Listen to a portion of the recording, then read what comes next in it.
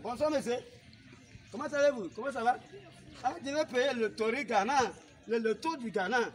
Si je gagne, un Ghana, c'est dit, combien tu vas me payer? Si tu n'es pas là, il faut parler. Hein? Il faut parler. Il y a un truc dans canon. J'ai dit, si tu comprends le français, moi je... Tout ton papier.